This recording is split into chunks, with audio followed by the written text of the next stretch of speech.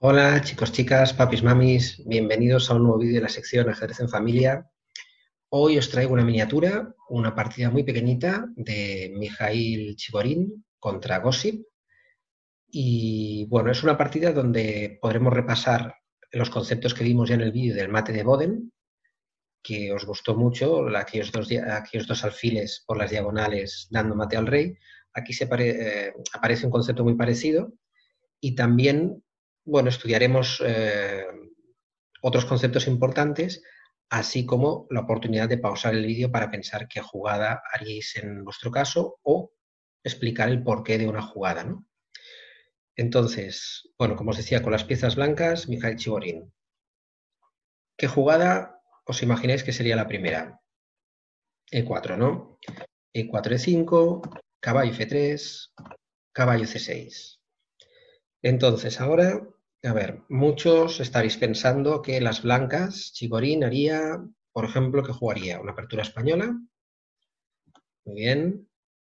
Una apertura italiana, quizás. ¿Qué jugarían las blancas en este caso? ¿Sacarían el caballo para llegar, como vimos, a la apertura de los cuatro caballos? Que ya hemos visto en un par de vídeos. Bueno, pues en este caso Chigorín utilizó una jugada que actualmente está en desuso, no, se considera muy bueno, no tiene muy buena reputación, es esta de aquí, C3. ¿Vale? Entonces, ¿cuál puede ser el sentido de esta jugada de C3? ¿Os acordáis que cuando avanzamos los peones nos servían para controlar las casillas que están delante de ellos, ¿no? Entonces, fijaos en concreto en esta casilla en D4, este peón está controlando esta de aquí y ayudando al avance de este peón, puesto que ahora esta casilla estaría defendida por peón y caballo, ¿verdad? Y la dama que está detrás. Bueno, esta es una posible, una de las respuestas. ¿Qué otra respuesta más se os ocurre del avance de este peón C3. Fijaos que por aquí he habilitado ya la salida de la dama. Y precisamente esta salida de dama es importante porque está en la misma diagonal que va hacia el rey. ¿De acuerdo? Muy bien. Pues ante el avance C3, claro, las negras quieren reaccionar rápidamente en el centro, así que mueven a D5 y ahora ya os, imagináis, ¿no? Puesto que ha desaparecido este peón de aquí, las blancas rápidamente llevan su dama a 4. Y de esta forma están clavando el caballo. Además de clavar este caballo, fijaos que este caballo está defendiendo este punto de aquí. Con lo cual, las blancas podrían capturarlo en la siguiente jugada. Así que, ¿qué jugada harán las negras en este momento? ¿Qué se os ocurre? Pues si el caballo está clavado y el peón está atacado, la jugada de las negras es efectivamente F6 para defenderlo. Bueno, Fijaos que de momento las blancas son las que están llevando la iniciativa, ¿no? Están atacando peones, están clavando piezas y el negro, pues bueno, se va tapando, va defendiendo. Así que, ¿qué más puede hacer el blanco para incrementar ahora eh, la presión sobre el negro? Esta es muy fácil, esta la tenéis que adivinar sí o sí, ¿no? Fijaos siempre en las piezas blancas y luego, pues miraremos la posición del negro. Entonces, fijaos, nos falta sacar el alfil para poder enrocar. ¿Y qué mejor casilla para el alfil que incrementar la presión sobre esta diagonal? Así que alfil B5 fue la jugada de Chiborín. ¿Cómo contestarían las negras a esto? A ver, ¿qué se os ocurre? Fijaos que si capturan el caballo, nos doblarían un peón, que ya sabemos que a priori pues es malo, no nos gusta tener nuestros peones doblados, porque en el futuro crearemos debilidades en nuestra posición. Con lo cual, las negras hicieron, efectivamente, movieron su caballo para protegerse del otro. Caballo E7. Muy bien. Una vez han comido, ah, perdón, han protegido su otro caballo, las blancas están en disposición de tomar E por D5, atacando a este caballo, que acordaos sigue clavado. Entonces, puesto que este caballo no se puede mover, si tomáramos con este otro caballo, nos volverían a doblar un peón. ¿De acuerdo? Pues para capturar este peón de aquí, Gossip capturó con la dama. ¿Vale? Dama por D5. Bueno, fijaos, la posición del blanco tiene piezas desarrolladas, aunque la dama salió demasiado temprano y está a punto de enrocar. En cambio, la posición del negro ha obligado también a sacar la dama. Eh, solo, bueno, tiene dos piezas desarrolladas, pero este caballo está entorpeciendo a este alfil y tampoco puede enrocar todavía el negro. Por lo tanto, las blancas enrocan rápidamente con la idea de llevar la columna al centro para presionar sobre un rey que está sin enrocar. Acordaos que siempre digo, un rey en el centro es un rey muerto. Entonces, las negras intentan, bueno, el principal problema que tienen es mover estos caballos para poder desarrollar el alfil y es esta clavada. Con lo cual, una jugada de, esperar es alfil de 7 para desclavar por fin a este pobre caballo. Pero entonces fijaos que ahora la reacción de Chigorín, ¿cuál es? D4.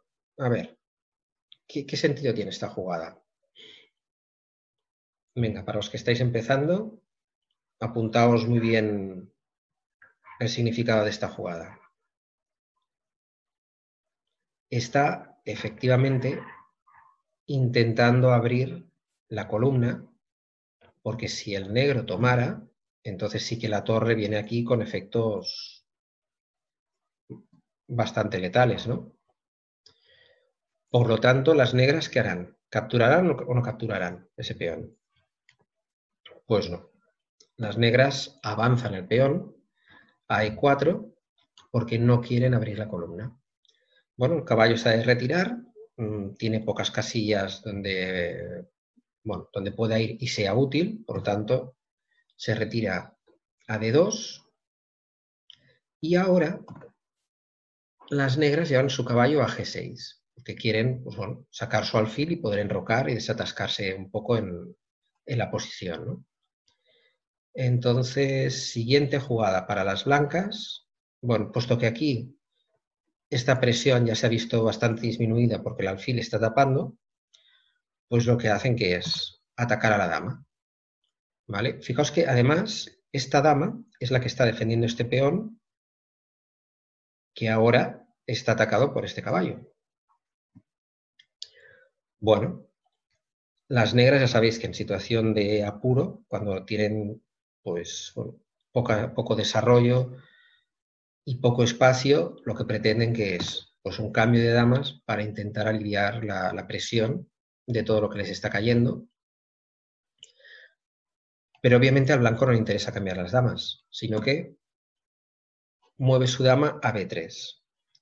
Venga, ya nos tocaría intentar entender el porqué de esta jugada. ¿Por qué la dama se va a esta casilla? Acordaos que esta posición la vimos ya en la partida de la ópera, uno de los primeros vídeos, si no el primero, el segundo. Si os acordáis en la partida de la ópera, la dama estaba aquí, que precisamente estaba amenazando un mate con el alfil. Y cuando el negro se tapaba con el caballo, entonces decíamos que la dama se movía desde aquí iba hacia el otro lado, este peón no estaba, evidentemente, se venía al otro lado y esta dama aquí, ¿qué hacía? Pues incrementar la presión otra vez sobre F7, pero además poner un ojo en el peón de B7. ¿Vale? Acordaos siempre, cada jugada de tener un sentido, una importancia. En cuanto podáis ver vuestras jugadas y las jugadas del rival, mejoraréis muchísimo en vuestro ajedrez. Bien, pues las negras aquí, ¿qué hicieron? Digamos que esta amenaza la pasaron por alto y seguían preocupados, ¿os acordáis por este peón? Que estaba antes defendido por la dama. Y se empeñaron en defender ese peón moviendo F5. Pero claro, esto ya es un error bastante importante porque ahora las blancas tienen este fantástico jaque. Y ahora, este pobre rey, ¿hacia dónde va? Digamos que el error viene ya con el avance de este peón para defender este otro de aquí, ¿no? El de 4 porque la mejor solución para las negras aquí hubiera sido, bueno, pues enrocar en largo, eh, se protegen de ese jaque, protegen también este peón atacado por la dama, hubiera sido la mejor jugada. Pero claro, el hecho de defender esto, pues permite entrar este alfil con jaque y ahora y aquí viene el error pues, fatal de la partida, ¿no? que es que el rey se viene a E7 y ahora ya las negras están perdidas. Porque fijaos, lo primero que, que hace Chigorín es incorpora el caballo atacando la dama. Y esta dama tiene pocos sitios donde ir, ¿no? Porque todas las casillas donde puede ir están atacadas por la dama, por el peón, por el alfil, por el caballo y esta de aquí también está controlada por este caballo. Es decir, que fijaos, esta dama está completamente atrapada. La única casilla que tiene disponible es esta de aquí. Que es a donde va. Y cuando la dama se mueve a, a 6, entonces... Ajaja, alfil G5 jaque. ¿Os acordáis que os hablaba del patrón del mate de Boden? Una diagonal con un alfil y una dama, otra diagonal con otro alfil. Bueno, aquí el rey comete el error de capturar ese alfil para decir, bueno, por lo menos me llevo algo de material por el camino, pero ¿habéis encontrado ya el jaque mate? Venga, va, que es jaque mate en una, es muy fácil este. Caballo D6. Efectivamente, fijaos, es jaque con el caballo, jaque descubierto con la dama, ¿vale? Este alfil está cortando la otra diagonal. Y esta casilla de aquí está controlada también por el caballo. ¿Vale? Con lo cual, un bonito jaque mate de Chigorín en esta miniatura, fijaos que han sido 15 jugadas. Únicamente en 15 jugadas da este espectacular mate. Bien, espero que os haya gustado la partida, que la podáis estudiar y acordaos, you win if you learn.